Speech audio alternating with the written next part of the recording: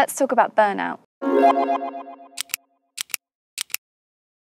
I really annoyed myself in my last video when I talked about how I find it really hard to take time off and I like to work really hard and all that stuff. It is true, but I annoyed myself because isn't life so precious?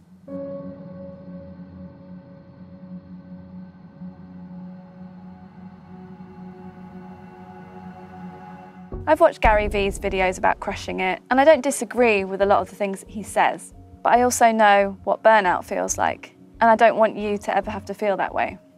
So, what is burnout? According to helpguide.org, burnout is a state of emotional, physical, and mental exhaustion caused by excessive and prolonged stress. It occurs when you feel overwhelmed, emotionally drained, and unable to meet constant demands. As the stress continues, you begin to lose the interest and motivation that led you to take on a certain role in the first place. Burnout reduces productivity and saps your energy, leaving you feeling increasingly helpless, hopeless, cynical, and resentful. Eventually, you may feel like you have nothing more to give. You might be on the road to burnout if every day is a bad day, caring about your work or home life seems like a total waste of energy, you're exhausted all the time. The majority of your day is spent on tasks you find either mind-numbingly dull or overwhelming, and or you feel like nothing you do makes a difference or is appreciated. I've put a link to this article in the description box. It's a really good one, and I wish I'd read it a lot earlier in my life, because looking at that list, I felt all those things, every single one. And alongside those feelings, I became unable to control my temper, which made me feel really ashamed. It wasn't all the time, but every now and then I would completely unpredictably fly off the handle. It was horrible. And it was worse when I didn't know what was going on, didn't have a word for it, and so wasn't able to accept that this was a condition with causes and therefore solutions. I didn't know what to call it until about a year ago. Maybe if I lived alone, I would have just lived in denial and, and not looked it up. When I realised that it had a name and started taking it seriously, I realised I had felt that way many, many times before. And just didn't know what word to call it. And for me, if something doesn't have a name, then it sort of doesn't exist and I can just forget about it and just concentrate on other things. So that was helpful. I've been reading a book recently called Burnout. I actually bought it probably about a year ago when I realised that I had this issue that was ongoing. And of course, I didn't have time to read the book about burnout because I was too busy working. And then um, it kept happening. So the time before last that I felt the symptoms of burnout, I did start to read the book. And I haven't read the whole book yet, but even in just the first part of the book, I've learned so much. It's been a recurring theme in my diaries for the past bajillion years that whenever I don't exercise, I feel rubbish. And then when I start exercising again, magically I start to feel better. I'm sure there are many, many medical and scientific reasons for this. We all know that exercise is good for us. But this book, Burnout, explained to me that the reason that it's so, so powerful when it comes to making my mood lift is because it's about completing the stress cycle. Whatever you do in your job, whatever your family situation is, you're going to experience stress. And if you can't get that out of your body, then it sits inside, this is the science bit, it sits inside you and it festers and it makes you feel rubbish and it makes it feel like it's really hard to do anything. And I don't know whether I've been confusing the symptoms of burnout for symptoms of depression for years either, because I wouldn't say that I'm someone who has depression. I'm not someone who has anxiety. I find it very hard to call myself those things without having a diagnosis. Um, if you have them and you don't have a diagnosis, it doesn't mean you don't have them. I'm just saying that I'm unable to label those things in myself without more information. But it is true, I think, that we all experience different levels of depression and anxiety without necessarily having those things as conditions in our lives. So I've experienced those things. They definitely get worse when I don't exercise, when I don't eat well, when I don't rest enough, when I don't get outside enough, and when I don't do much deep breathing. So when I do yoga and meditation, when I go running, when I get outside, I magically feel better. And what I've learned from this book is that it's directly linked to completing this thing called a stress cycle.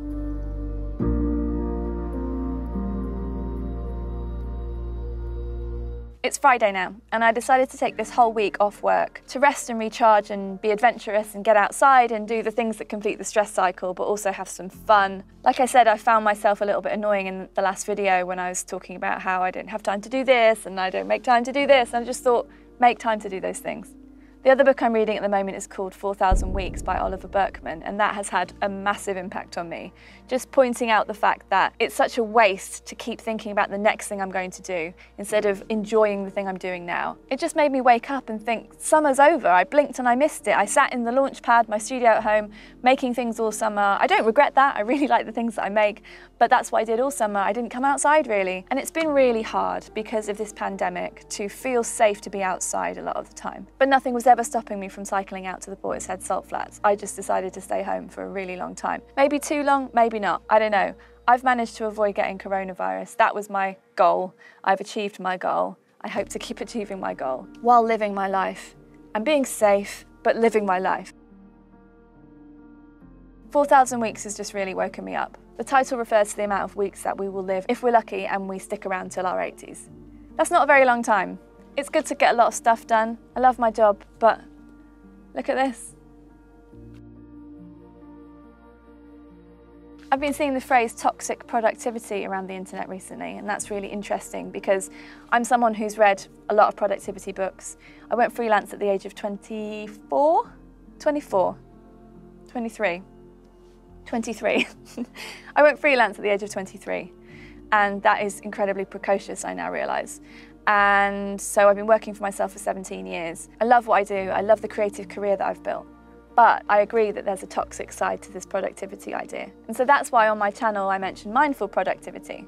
Cal Newport, whose books and podcast I really love, was recently talking on his show about slow productivity, which to me is the same thing. For me, it's about tweaking your life to make sure that you have time to do the things that you really love and you really care about, whatever that is, while also taking care of yourself. And that's a journey I am on. I'm not doing particularly well at it at the moment.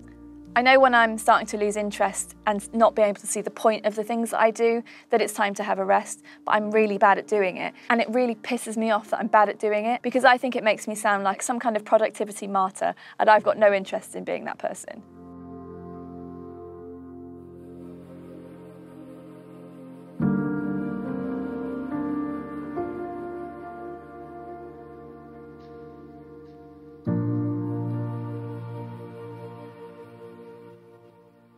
So I started with really good intentions of getting outdoors and doing loads of cool stuff, just stuff I'd never tried before. So I booked myself in for a surf lesson at The Wave, which is this incredible powered lake thing in northwest Bristol. It's 15 minutes drive from my house.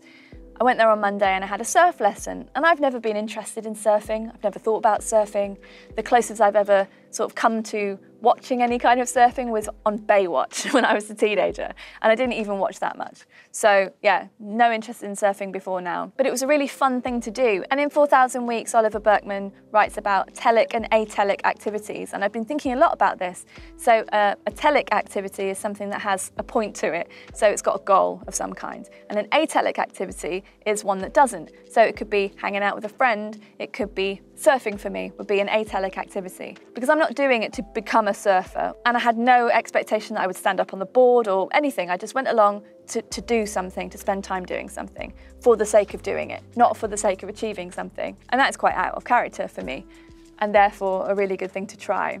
I didn't completely suck, but even if I had it, that really doesn't matter. That's not the point of it. The point was to get out of my house and go somewhere and do something different. And I got to be around people, and I haven't been around many people for quite a long time. And it all felt safe. And I had a few little chats with strangers, and that's something I've missed as well. Then on Tuesday and Wednesday, I sat on my sofa watching Netflix, feeling sorry for myself.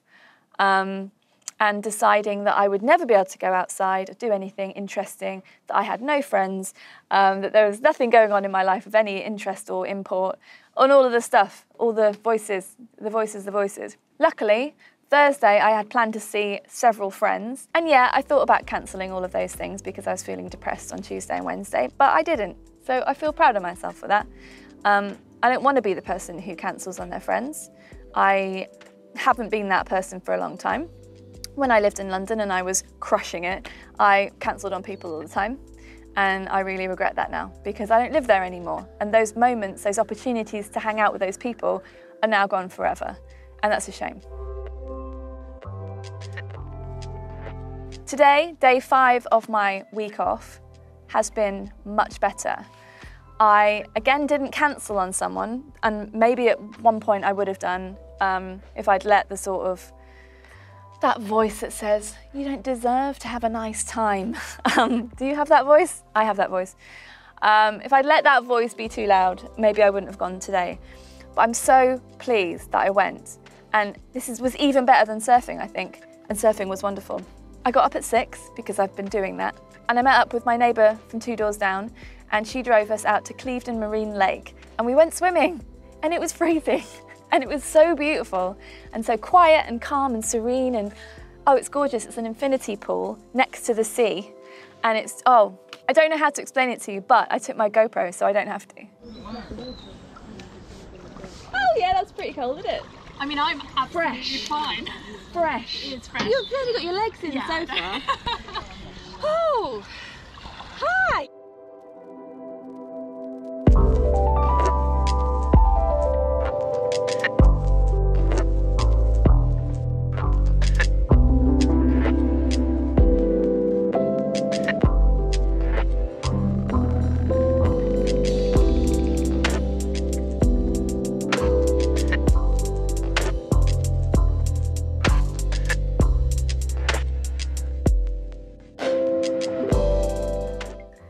To Portishead before, but further over that way, so I've never seen this part, the salt marshes. And it's quiet here. No one's here to laugh at me. I do find it really hard to get outside. I don't know why. It's not a habit of mine to spend a lot of time outdoors. Could it be? Could I build a new habit to be outdoors more? Could I build a new habit to go swimming in cold water a couple of times a week? I'd really like that. I'd like to be that person. The only thing that I don't like is running out of time. And Oliver Burkeman's book is helping me reframe that in my mind. Because I'm not running out of time. Time isn't something that I definitely have. Time is something that I can use, but it's not a resource. Because, yeah, you only know you had three hours when those three hours are up. It's really interesting. One of the things I wanted to do is give myself a little treat. I'm going to eat a chocolate bar out in the beautiful, beautiful Environs of Portishead, who are one of my favourite bands as well. It's funny to have been into them when I was, I don't know, 15, 16. Portishead to me is a band, it's not a place. But then I've lived just down the road from here for three years, so it's very much a place. Sorry to the people of Portishead, you had it first. It's just really nice out here. And I love a twirl. Need to remind myself of things. Like how great girls are. Mm. Such a good twirl. So, here I am.